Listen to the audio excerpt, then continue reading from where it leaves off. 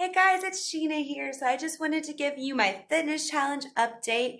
We are doing good, of course, with birthdays and things like that. There are always hiccups that get in the way, but don't give up. Just keep going and remember your goals. So our goals were to stay healthy during the week. If at all possible, try to do two to four low carb days. And that means no bread, no alcohol, chocolates, crackers, pretzels, things like that. So we're working on that, but we've been doing really good. This is, uh, I think, a couple weeks now in. And of course, there's been some setbacks, like I mentioned, but we're staying on track. I've already been down a pound, so I'd say we're doing awesome. I'm getting ready at uh, Tuesday, so my second workout of the week. So that is great. We're going to do some Zumba, and good luck to you guys. Let me know what you're doing in the comments down below. Bye, guys.